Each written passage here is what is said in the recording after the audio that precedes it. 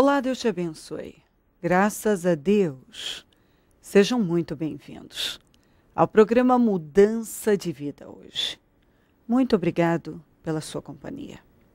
Que o Senhor te abençoe muito e a toda a sua família.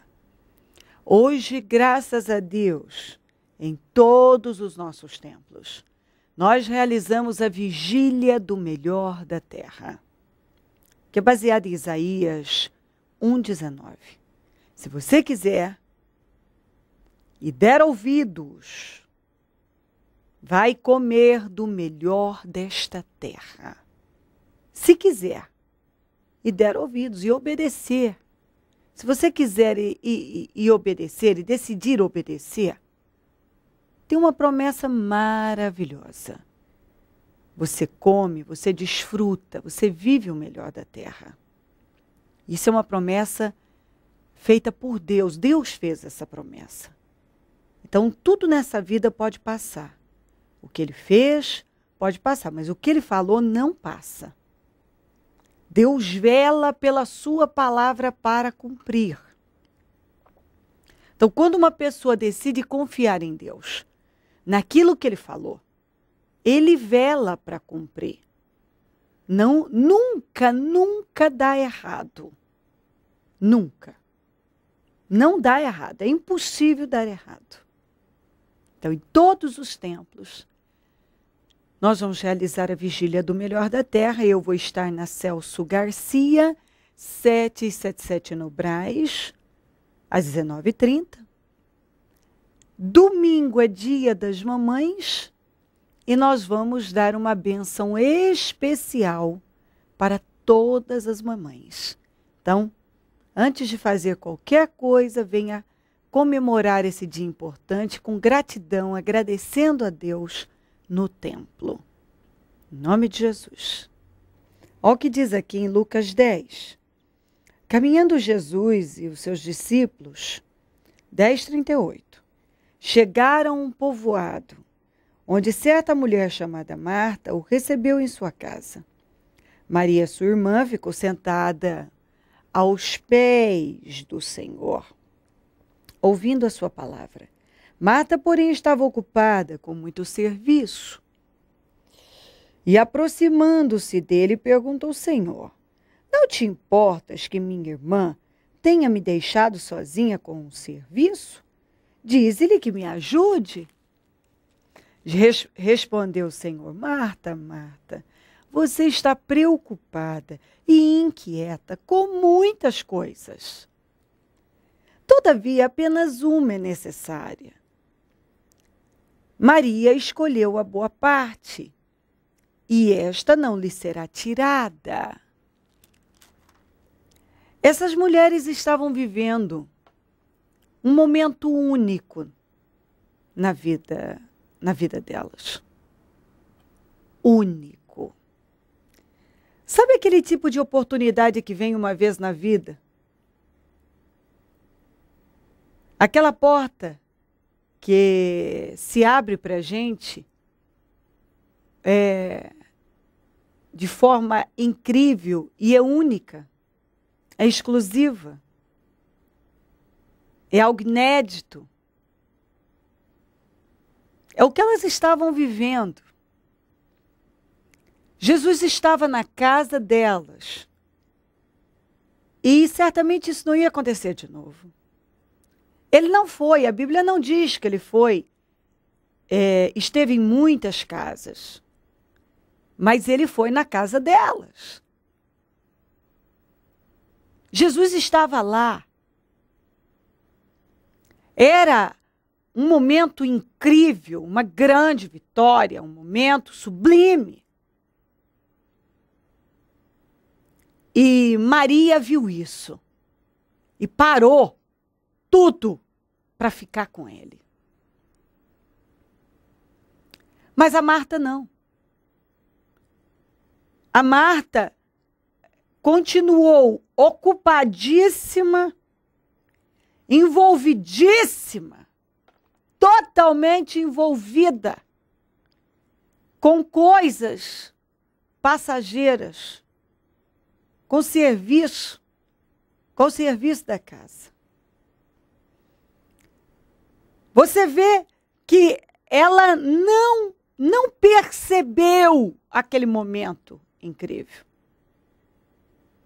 Ela não percebeu que aquela era uma oportunidade única.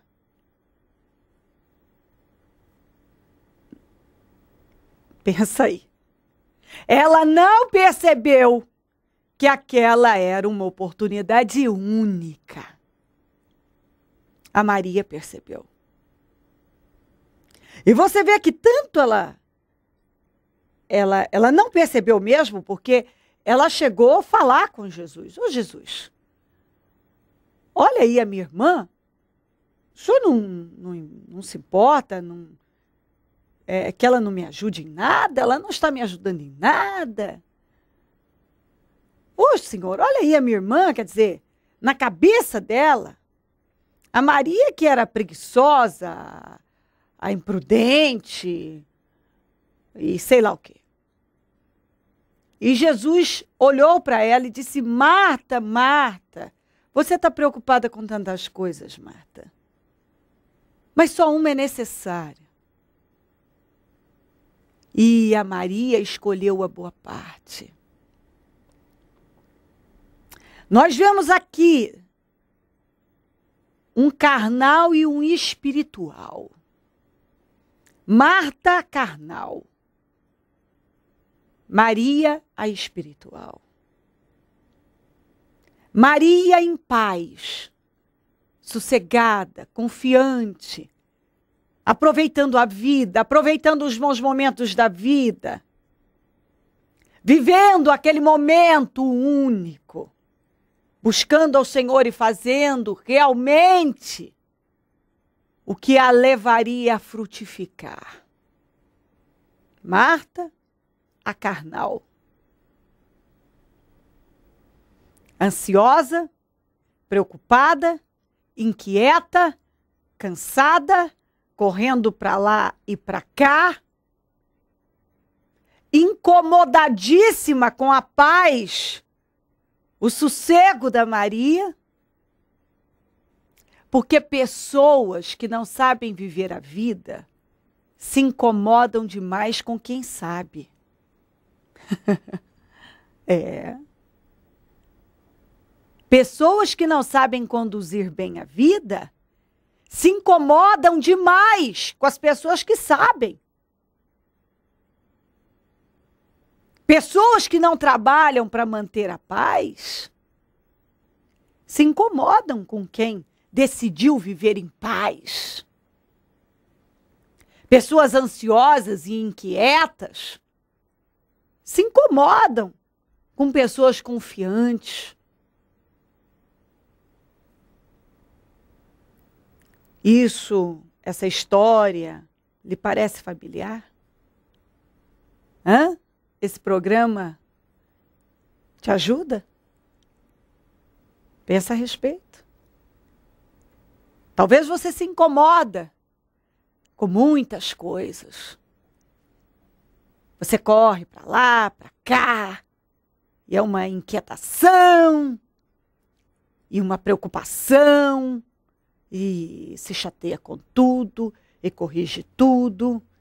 E se uma pessoa faz uma coisa, nunca tá bom, nunca te agrada. Se uma pessoa sabe viver a vida, te incomoda, porque você não entende. Talvez você age da mesma maneira que a Marta. Ô senhor, olha aí a Maria, a Maria não me ajuda. O senhor não se importa com isso? E o senhor deixou bem claro que a Maria estava certa. Mas a Marta estava errada. Deus quer que você seja uma pessoa faminta por paz. Que você busque a paz. Deus não quer você vivendo ansioso, ansiosa, nessa inquietação. Deus quer que você viva a sua vida e não tem sentido viver sem paz. Talvez você está tentando abraçar o mundo, fazer um monte de coisas ao mesmo tempo e não está conseguindo fazer nada. Está jogando a sua vida fora, bons momentos fora, oportunidades fora. Está deixando de focar nas coisas certas. Porque a Maria focou na coisa certa. E a, a Marta não. Deus quer você focado, focada na coisa certa. E não jogando sua vida fora, seu tempo fora. E ainda achando que você está certo, que está certa. Não. Não. Está na hora de você parar e rever a sua vida. Porque talvez você está correndo, correndo, e não está chegando a lugar nenhum, está nadando, nadando, não tá, e está morrendo na praia, está dando murros e murros em pontas de faca. E tenta um negócio e tenta outro, e nada flui na sua vida. Por quê? Porque você age de forma carnal, você não depende de Deus como Maria dependeu. Você se preocupa com, com coisas que passam, como a Marta estava muito preocupada, mas só com coisas que passam. Coisas que passam, não coisas que prevalecem. A Marta estava preocupada com coisas que não edificam, que não prevalecem, que não te levam a lugar nenhum. Mas a Maria não, a Maria focou na coisa certa se envolveu com a coisa certa, agarrou a grande oportunidade da vida dela, viveu aquele momento. Ela estava em paz porque ela fez a escolha certa. E Deus espera isso de você. Talvez você é aquela pessoa que está agindo, reagindo igual a Marta. Tudo é sobre mim, ninguém me ajuda, ninguém me entende.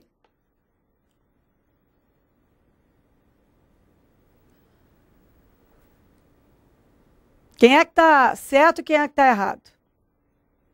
Hum? A Maria estava certa. A Marta estava errada. Porque Deus não espera que uma pessoa se envolva com coisas que passam. Não. Deus não espera. A Maria aproveitou um momento único na vida dela, a oportunidade da vida dela, e viveu. E Deus está esperando que você conduza bem a sua vida. Para de se envolver com coisas que passam. Para de lamentar. Para de viver tão ocupado, tão ocupada tão cansado, cansada, correndo, correndo. E de repente, talvez você olhe aí e não está frutificando em nada, não está produzindo nada. Dependa de Deus. Busca Deus. Se envolva com as coisas certas. Quem vai te dar vitória é Deus. Gaste tempo com Deus. Se envolva com coisas que permanecem e você vai ver a sua vida frutificar. E é isso que você quer. Você quer vitórias, você quer frutificar. Então se envolva com a coisa certa. Decida que a partir de hoje você vai conduzir a sua vida da maneira que Deus está te orientando. Em nome de Jesus Cristo. Se crer, desejar, quiser orar comigo, prepara algo que queira colocar sobre a TV. Eu volto já para orarmos. Seu Carlos e Dona Sandra, como estava a vida de vocês antes de chegar ao Ministério Mudança de Vida? Como estava? Quem quer falar, senhora? Nós chegamos endividados, perdendo, já tínhamos perdido apartamento, carros bons que nós tínhamos. É, tudo para pagar dívida, dona Sandra? Tudo para pagar dívida e, na verdade, não pagou. Né? Foi perdendo, mas não pagou nada. E estávamos à beira de perder as máquinas que nós tínhamos, que são máquinas caríssimas, né? Que hoje a nível de Rio Preto até região é nossa empresa assim é difícil uma empresa que tem os equipamentos que nós temos. E estávamos perdendo. As negociações já estavam né, chegando ao fim já não tinha mais o que falar o que fazer e estávamos perdendo. Dona Sandra vender o apartamento quer dizer, a moradia para tentar sanar compromissos. Não resolveu. A dívida continuou. Continuou. Na verdade, nós vendemos o apartamento assim, foi para continuar a viver, né? Continuar com os funcionários, continuar com algumas comprando algumas coisas e fabricando algumas coisas, mas não sanou dívida. Quando vocês venderam o apartamento, vocês ficaram sem moradia. Vocês chegaram ao ponto de morar na empresa. Nós moramos na empresa e da onde nós morávamos, nós tínhamos um apartamento muito bom na Avenida Alberto Andaló. Desfazemos dele e fomos morar na empresa na Zona Norte. Então foi uma, uma queda assim muito terrível para nós. A dívida chegou a que volume, que tamanho? Ah, quase um milhão de reais. Quase um milhão de reais. Quase um milhão de reais. Como pagar nos dias de hoje uma dívida de aproximadamente um milhão de reais? Ah, só de vindo para a igreja mesmo. Porque depois que nós viemos para a igreja, nós demos conta de pagar. nós entregamos tudo na mão de Deus. Eu fiz um propósito na minha vida. Nós falamos assim: como nós chegamos na igreja? No fundo do fundo do fundo do poço mesmo. Não tinha mais é, para vender carros que nós tínhamos, carros bons, não era carro de. Nós tínhamos uma L200, depois nós tínhamos um Tucson, tinha carro bom. Tinha tudo do bom e do melhor, e foi tudo para sanar compromisso, tudo para pagar dívida. Tudo para pagar dívida e não pagou ainda. E ainda perdendo a indústria. Estava perdendo a indústria também. E quando diz perdendo a indústria, estava perdendo tudo, perdendo maquinário, perdendo o prédio, perdendo tudo. O prédio é próprio, né? E nós estávamos perdendo. Aí nós fomos para a igreja e começou as coisas, começou a dar uma, uma clareada. É igual o senhor falou, é, é, nós ouvimos a palavra e guardamos, e pomos em prática. É, eu não, às vezes o pessoal a gente entra aqui e sai, né? Eu, graças a Deus, assim, eu tenho feito, sim, eu ouço a palavra e, coloco em prática. Eu não, não, não, O senhor não perde uma reunião de segunda-feira? De segunda, eu perdi duas reuniões. Vai... Até hoje, de dois anos até aqui, o senhor perdeu duas reuniões? Duas reuniões porque o carro deu problema. Senão eu cheguei até na metade do caminho, o carro ferveu, eu tive que voltar para casa. Dona Sandra, um ano atrás nós tivemos lá. Ainda estava em muita dificuldade. Ainda estávamos, tínhamos um cliente só e nós tínhamos aquele medo de perder esse cliente, então nós nos sujeitávamos a tudo que, que ele queria. E a partir do dia que o senhor, que o senhor teve lá, a história da, da vaquinha, a gente ouviu ela e colocou em prática e a partir dali nós começamos a, a lutar no braço de Deus, a fazer o braço de Deus. Deus está à nossa frente, está à frente de tudo, todas as direções, todos os clientes, tudo novo que entra em nossa vida. Deus está à frente de tudo. A partir daquele momento, porque a verdade é uma só, é aquilo que a gente ensina dentro da igreja. A sua dependência não pode estar no homem. Você não vive na dependência do homem, de uma pessoa. Eu disse a eles na época, contei uma história para eles e disse: vocês estão se sujeitando. É igual a história da pessoa que tinha uma vaquinha e vivia do leitinho daquela vaquinha, só tinha leite para se alimentar todos os dias. Um dia, um homem de Deus mandou empurrar aquela vaquinha no abismo mandou empurrar, surgiu a preocupação, mas se empurrar, como é que eles vão se manter? Mas empurraram. Posteriormente, um ano depois, quando o homem de Deus voltou lá, havia uma realidade completamente diferente. Havia abundância, havia fartura. E foi a história que eu contei para eles. Eu falei: vocês não têm que estar na sujeição de uma pessoa quem sustenta é Deus, quem abre portas é Deus, quem manda muito mais é Deus. E eles tomaram posse daquilo. Tomaram posse daquilo e a partir daquele momento a partir daquele momento, eles estavam me dizendo que começaram a pegar clientes, esse cliente deles era daqui, começaram a pegar clientes das capitais, São Paulo, Rio de Janeiro, clientes e vendas grandes, grandes, grandes. Olha isso. Dona Santa, a senhora disse para mim que fez o levantamento, o balanço de 12 meses para cada faturamento de vocês. Deu em torno de? 916 mil reais. Quase um milhão de reais. Um milhão de reais. Um casal que nós chegamos lá, estavam desesperados. Quando nós encontramos lá, encontramos um casal cabisbaixo, abatidos. É verdade, não é? Abatidos. Abatidos por quê? Porque eles diziam assim, a senhora me disse, ela disse, nós não tínhamos perspectiva. Nós não tínhamos perspectiva. Era isso, dona Sandra? Exatamente, nós tínhamos assim a, a boa vontade de pagar, era o que nós falávamos para todos os credores mas não sabíamos como, não tinha da onde, como fazer o que, não tinha o que fazer. Mas a partir do momento que nós empurramos a vaquinha no abismo com tudo, aí começou. Seu Carlos, o senhor disse que assumiu um compromisso com Deus de verdade. O senhor disse que assumiu um compromisso com Deus de ser um dizimista fiel, de ser um ofertante fiel, de honrar a Deus nos mínimos detalhes. A partir daí, tudo começou a mudar. As coisas mudaram completamente. Eu, é, eu, eu não diz assim que a gente nem tinha para né, ofertar, não tinha para nada. Aí nós falamos, ó, vamos colocar nossa vida em ordem, se receber um real, nós vamos dar. Então nós começamos, aí foi, a coisa começou a andar, começou é, fluir na nossa vida. Deus começou a abençoar. Graças a Deus, assim, hoje, nós compramos, tudo que nós compramos na firma é à vista. Nós não pagamos, nós não fazemos, assim, nada, nada a prazo. É tudo à vista. Vai comprar alguma coisa, dinheiro. Se tem dinheiro, compra. Se não tem, não compra.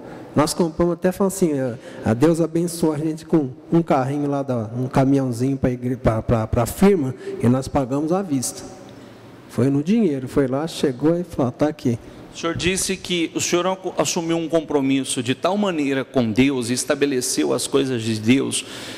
Em primeiro lugar, o senhor disse que pode, um dia igual hoje, se, tiver um, se tivesse um cliente, como o senhor já fez na sua empresa, que estendesse até o horário do culto, o senhor pedia licença para continuar a negociação outro dia, devido ao compromisso que o senhor tem com Deus. Aí, eu, eu já cheguei para um para fora. Estava lá me atrapalhando. Chegou, ó, tá na hora de eu ir para o culto, você quer ir comigo? Não, eu falei, então você faz favor, se retira que eu estou indo para a casa de Deus. Aí ele pegou, foi embora, eu fui para a igreja. Hoje eu tenho isso na minha vida. Eu, hoje eu determino isso na minha vida. Chegou na hora de culto, é culto e. Deram a volta por cima, seu Carlos. Nós demos a volta por cima. Deus fez uma reviravolta na vida de vocês. Hoje nós estamos por cabeça. Como se explica isso? Em em um ano, de um ano para cá, uma reviravolta tão grande? Só Deus, dona Sandra. Só Deus é a fidelidade, compromisso com Deus e Ele à frente de tudo. Tudo, tudo. O que, que o ministério significa para vocês?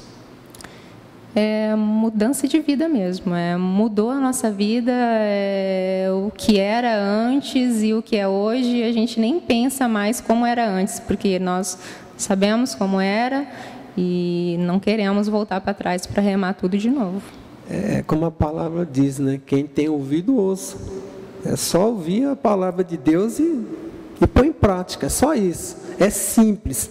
Né? Não, não tem, é, o pessoal faz uma coisa tão difícil, né? Fala assim, é, às vezes você tem que ficar ali, a pessoa vai, vem, vai, vem. Não, coloca em prática. É, ouviu, o que eu ouço para mim na igreja, eu coloco no meu coração no outro dia, assim eu já saio da igreja já fazendo. Não, não tem meio termo, é, é aquilo ali, eu pus na minha vida, é isso aí. Abençoado. Abençoadíssimo. Por cabeça. Por cabeça. Abençoado, dona Sandra. Abençoados. Por cabeça. Por cabeça. Momento da oração. Deus de Israel, eu oro por esta vida. Que o Senhor está lutando para ajudar. O Senhor quer conduzi-la e dirigi-la para a direção certa. E talvez ela anda irredutível.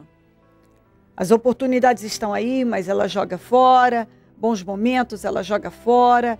Ela tenta resolver ao modo dela, ela tenta resolver da maneira dela e corre, corre, corre e não consegue obter um resultado. Por quê? Porque tem andado na carne. E pessoas carnais realmente chegam a um ponto de exaustão, mas sem resultado. Pessoas espirituais não. Elas têm tempo, porque elas usam bem o tempo. Porque a tua palavra diz: se o Senhor não for o construtor da casa, em vão trabalham os que edificam. Se o Senhor não for o que guarda, em vão vigia a sentinela. Quer dizer, uma pessoa pode morrer trabalhar se ela não ter a tua bênção. Ela, ela não obtém o resultado que ela tanto quer. E pessoas carnais são assim só dependem da força do braço, só se envolvem com coisas passageiras. Deus de Israel. Talvez essa pessoa está na condição de Marta, tendo uma oportunidade grande diante dela, mas está envolvida com coisas que passam e que não têm importância. Ajuda ela a ver, Senhor. Ajuda ela a se posicionar. Ajuda ela a entender e, e, e se colocar na posição que o Senhor espera para abençoá-la, de dependência total. Aproveitar os bons momentos que o Senhor tem dado a ela. Cobre ela com teu sangue. Abençoa lares, famílias e todos que nos pedem orações por cartas, e-mails, disque vida, Twitter. Eu consagro tudo que está sobre a TV. Abençoa os meus amigos e companheiros semeadores, pessoas que dizimam e ofertam na conta dos semeadores. Que sejam imensamente prosperados. Desperta mais semeadores, porque quem planta, colhe. E se essa pessoa decidir plantar no teu reino, ela vai colher. Visita cada um com entendimento, com vitórias. É o que eu peço agora, que esta palavra possa iluminar a todos. E tudo para a honra e a glória do teu nome. Amém. Amém e amém. Graças a Deus, amém. O número do Disque Vida é 0 Operadora 11 3876 55 92. Celso Garcia 7, 77 no Braz, é onde eu fico e onde vou estar hoje às 19h30 com a vigília do melhor da terra. Se você quiser e der ouvidos, vá desfrutar do melhor da terra. Se o Senhor não voltar, eu vou continuar aqui, falando de vida e mudança de vida. Bom dia, amém. Por quê? toda a lei se cumpre numa só palavra. Nesta, amarás ao teu próximo como a ti mesmo. O Ministério Mudança de Vida leva vida através da palavra de Deus a todos os lugares. Leite quente é distribuído nos becos redutos, juntamente com a palavra de Deus que salva e conforta os corações. A fé sem obras é nula. Trabalho noturno de evangelismo, assistência social e libertação. Mendigos, moradores de rua, casas noturnas e casas de meretrício são assistidos nas madrugadas. Muitas dessas almas, posteriormente à assistência, procuram o Ministério Mudança de Vida, convertem-se a Jesus e têm suas vidas mudadas. Mude a sua vida. Transforme-se pelo poder de Deus. Em algum lugar, a qualquer hora, sempre terá alguém esperando por você.